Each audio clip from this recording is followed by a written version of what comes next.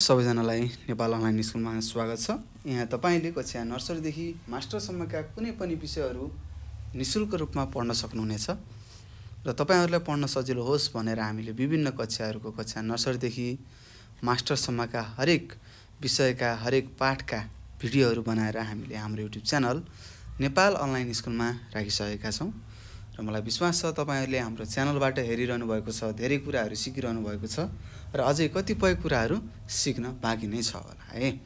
र त्यस्तै कोही नयाँ हुनुहुन्छ भने हाम्रो च्यानललाई सब्सक्राइब गर्नुहोला र त्यस्तै भिडियोहरू हेरिसकेपछि भिडियोको अन्तिममा लाइक कमेन्ट र सेयर गर्न नभुल्नुहोला है?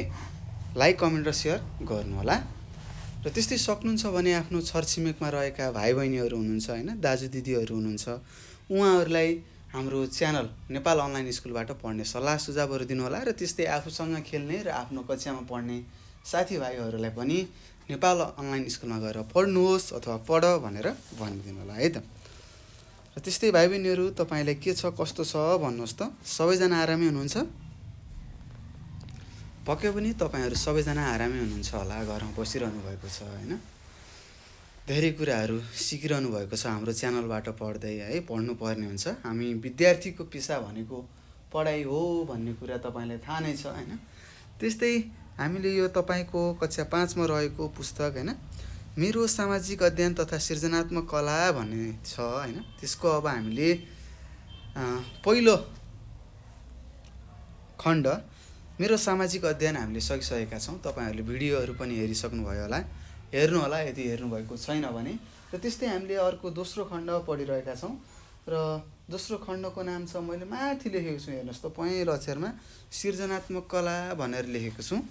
तपाईँहरूले देख्न सक्नुहुन्छ होइन? सृजना भनेको के हो भन्ने कुराहरूको बारेमा हामीले अगाडि पनि छलफल गरिसकेका छौँ र त्यसको एकाइ एक होइन दृश्यकला अन्तर्गत पर्ने हामीले आज हामी पाठ पाँच पढ्न जाँदैछौँ है त? ल हेर्नुहोस् पाठ पाँचमा के लेखेको छ? रङ बनाऊ भनेर लेखेको छ होइन? अब हाम्रो काम भनेको के हो त? रङहरू बनाउने अब आफ्नो होइन सबै ठाउँ सबै रङहरू त के हुँदैन त? हुँदैन होइन? कहिले कस्तो रङहरू सिद्धिन सक्छ। त्यस्तै हामीले अब के के माध्यमहरूबाट रङ बनाउन सक्छौँ त भन्ने कुराहरू हामीले बुझ्नुपर्ने हुन्छ। होइन? त्यस्तै तपाईँहरूले अब रङ बनाउनको बनाउनको लागि एउटा पिठो चाहिन्छ तपाईँलाई होइन? पिठो चाहिन्छ होइन? त्यसै गरी तपाईँहरूसँग कालो होला होइन? कालो रङ बनाउनुको लागि हामीहरूले अगार भन्ने त थाहा होला नि कोइला। कोइलाबाट बनाउन सक्छौँ। होइन? त्यस्तै रातो रङको लागि सिमरिक प्रयोग गर्न सक्छौँ होइन? त्यस्तै हरियो रङको लागि पातहरूलाई थिचोमिचो पारेर होइन? हरियो पातलाई थिचेर हरियो रङ बनाउन सक्छौँ। त्यस्तै विभिन्न प्रकारका रङहरूलाई मिश्रण गरेर होइन? एउटा रङमा अर्को रङ हालेपछि अर्कै अर्कै अरू अरू भिन्न भिन्न किसिमका के भन्छन् त भाइ बहिनीहरू रङहरू बन्छन् भन्ने कुरा तपाईँले बुझ्नुपर्ने हुन्छ। त्यसै गरी भाइ बहिनीहरू आजको यस कक्षामा हामीले त्यस्ता रङहरू के कसरी बनाउने होइन कति पानी हाल्ने होइन आधा पानी आधा चम्चा पानी हाल्ने कि आधा एक गिलास पानी हाल्ने भन्ने कुराको बारेमा छलफल गर्छौँ। र त्यस्तै विभिन्न कक्षा होइन विभिन्न प्रकारका रङहरू होइन प्रयोग गर्दाखेरि कस्तो रङ हुने रहेछ होइन मिसावट गर्दाखेरि भन्ने जस्ता कुराको बारेमा पनि हामी यसो छलफल पनि गर्ने नै छौँ होइन। र तपाईँले यो रङ बनाउने भन्ने कुराहरू तपाईँले अगाडि कक्षा तिनदेखि नै पढ्दै आउनुभएको छ त्यस्तो गाह्रो केही पनि छैन। र यो पाठ पाँच पढ्नुभन्दा अगाडि हामीले के पढेका थियौँ के याद छ? पक्कै पनि याद छ होला। ज्यामितीय आकारबाट चित्र बनाउने भनेर सिकेका थियौँ। त्यस्तै हाम्रो वरिपरि रहेका वस्तुहरूको के हुने रहेछ त? विभिन्न ज्यामितीय आकारहरूसँग मेल खाने रहेछ। विभिन्न ज्यामितीय आकारहरूको स्वरूप देखिने रहेछ होइन? हो त्यस्तै हामीले विभिन्न ज्यामितीय आकारहरू प्रयोग गरेर हामीले के गर्न सक्ने रहेछौँ त? विभिन्न प्रकारका चित्रहरू बनाउन सक्ने रहेछौँ भन्ने जस्ता कुराहरू हामीले योभन्दा अगाडि पाठ अगाडिको भिडियो होइन पाठ चारमा हामीले पढिसकेका छौँ। तपाईँहरूले पनि धेरै कुराहरू सिकिसक्नु भएको छ होला। र त्यस्तै अब हामी पाठ पाँच पढ्न सुरु गरौँ। ल हेर्नुहोस् पाठ पाँचमा लेखेको रहेछ रङ बनाऊ। र रङ कसरी बनाउने के बनाउने भन्ने कुराहरू मैले तपाईँलाई अघि भर्खरै भनिसकेको छु। र त्यस्तै यहाँ के लेखेको छ त्यो पढौँ है त। ल हेर्नुहोस् यहाँ लेखेको छ रङ्गिन धुलो होइन? रङ्गिन धुलोहरू अब जस्तै कस्तो हुनसक्छ? अबिर चाहियो। अबिरहरू हुनसक्छ। तपाईँहरूले अबिरहरू खेल्नुभएको छ होला होइन? होलीमा खेल्नुहुन्छ। विभिन्न रङ्गी बिरङ्गी अबिरहरू तपाईँहरूलाई थाहा नै छ होइन? एकअर्कालाई दल्नुहुन्छ। रातो हरियो पहेँलो निलो गुलाबी कलर विभिन्न रङको बारेमा तपाईँलाई थाहा नै छ। त्यस्तै निर निर भनेको पनि थाहा छ होला। निलो हुन्छ है? त्यस्तै रातो माटो भयो। रातो माटोबाट पनि हामीले रातो रङ बनाउन सक्छौँ। अबिरबाट पनि रातो निरबाट निलो कमेरोबाट सेतो बनाउन सक्छौँ। होइन कमेरो थाहा होला कमेरो माटो भनेर होइन त्यस्तै रातो पनि माटो हुन्छ। यी कुराहरू तपाईँलाई थाहा नै छ। त्यस्तै फुलहरूबाट विभिन्न रङ्गी बिरङ्गी फुलहरू हुन्छन्। त्यो फुलहरूलाई हामीले मिच्यौँ। निचरेर त्यसको रस निकाल्यो भने के हुन्छ? फुल यदि रातो छ भने के हुन्छ? रातो रङ निक्लिन्छ। हरियो छ भने हरियो रङ पहेँलो छ भने पहेँलो रङ निलो छ भने निलो रङ होइन? खैरो छ भने खैरो रङहरू निक्लेको हामीले देख्न सक्छौँ है त? तपाईँहरूले नत्र एकचोटि प्रयोग गर्नु होला फुलहरूलाई टिप्नु होला र हातमा यसरी मिच्नु होला त्यो फुलको रङ होइन? जस्तो छ त्यही अनुसारको के आउँछ त्योबाट रङ निक्लिन्छ है त? झोल निक्लिन्छ। र बोट बिरुवाहरूको पात आदिमा गम वा माड र उचित मात्रामा पानी मिलाएर रङ बनाउन सकिन्छ हेर्नुहोस्। हो त्यस्ता होइन अबिरहरू निर होइन कमेरो फुल बोट बिरुवाहरूको पातहरूमा होइन हामीले माड माड भनेको के हो थाहा छ? थाहा छ होला। है भात पकाउँदाखेरि त्यो पानी निक्लिन्छ नि। हो त्यसलाई हामीले माड भन्छौँ है त। त्यस्तो माड अथवा गमहरूमा होइन मिलाएर हामीले के गर्न सक्ने रहेछ त? एकदम ठिक मात्रामा उचित भनेको ठिक मात्रामा पानी मिसायौँ भने रङ राम्रो बन्ने रहेछ भन्ने कुरा लेखेको छ। यसरी बनाएको धुलो रङ प्रयोग गर्दा सुकिसकेपछि हातले छुँदा वा त्यसमाथि अरू कागज राख्दा नखसोस् तथा रङ टिका होस् भन्नका लागि रङ घोल्दा नै अलिकति माड वा गम मिसाउनु पर्छ। हेर्नुहोस् यदि अब हामीले रङहरू लगायौँ भने त्यो पछि त उकिन सक्छ अथवा एकमाथि अर्को टाँसिन सक्छ।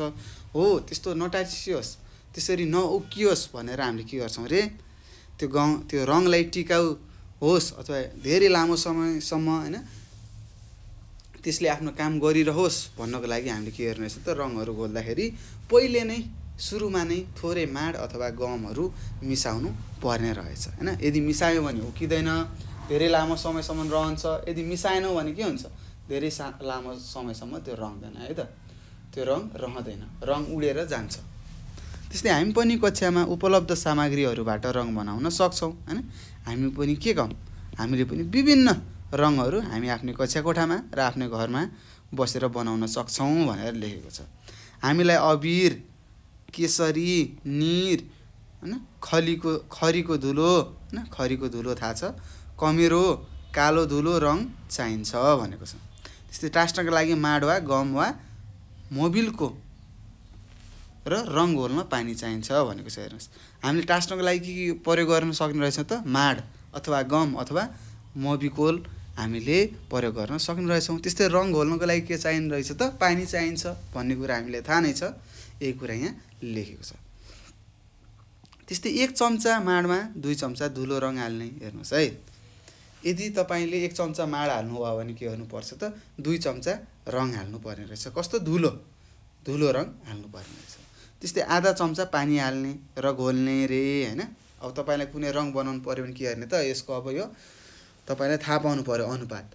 यदि एक चम्चा तपाईँले माड हाल्नु हुन्छ भने दुई चम्चा के हाल्ने? धुलो रङ हाल्ने र त्यस्तै आधा चम्चा के हाल्ने? पानी हाल्ने र घोल्ने। र यदि तपाईँले एक चम्चा पानी हाल्नुभयो भने के गर्नु पऱ्यो त?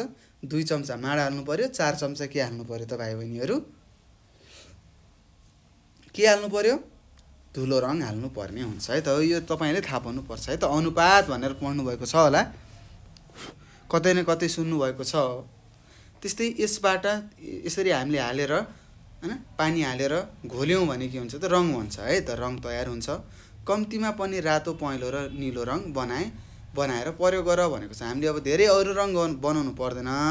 कम्तीमा पनि भनेको के? कममा होइन थोरैमा हामीले रातो पहेँलो र निलो रङ तिनवटा रङ बनायौँ भने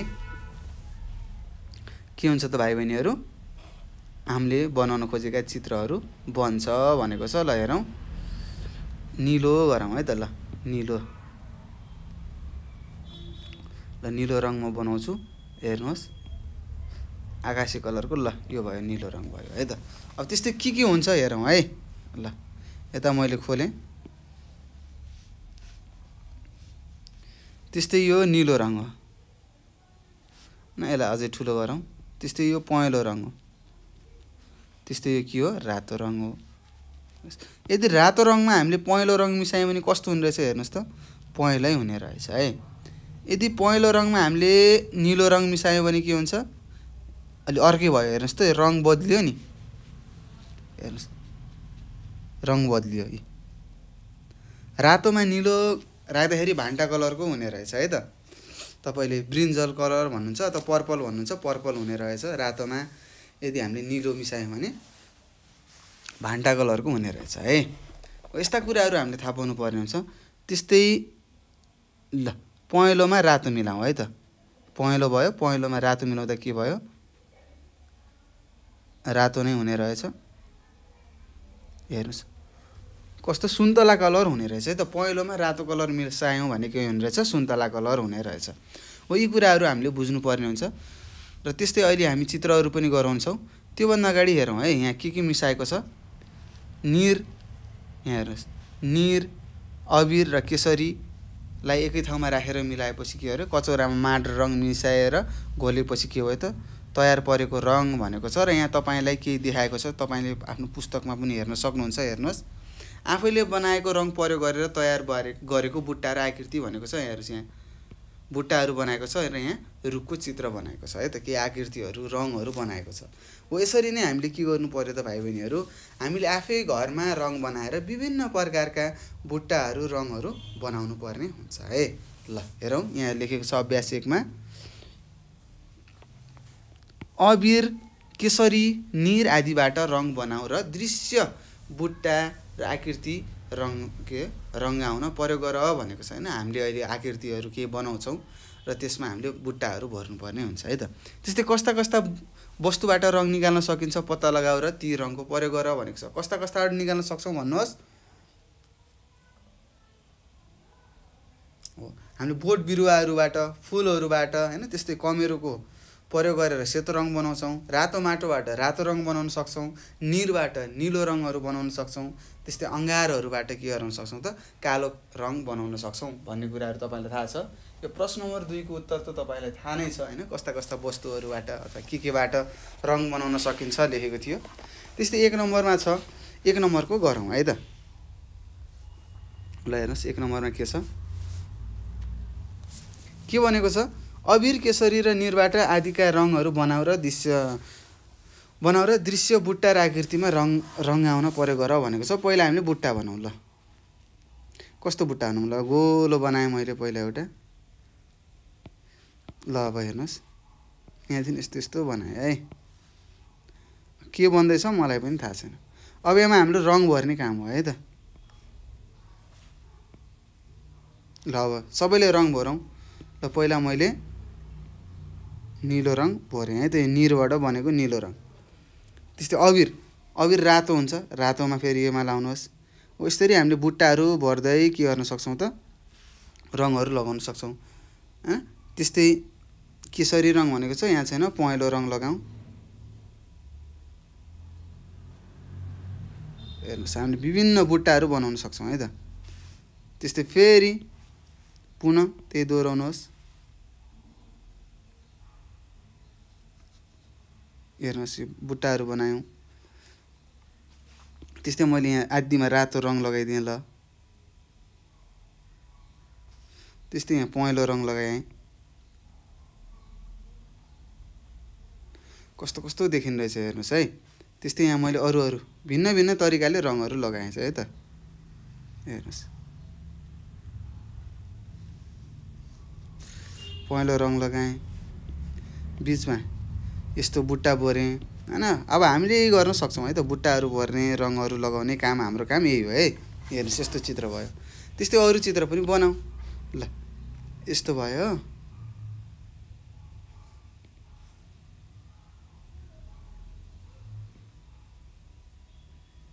ल हेर्नुहोस् है। अब हामीले बुट्टाहरू भर्न सक्छौँ है त।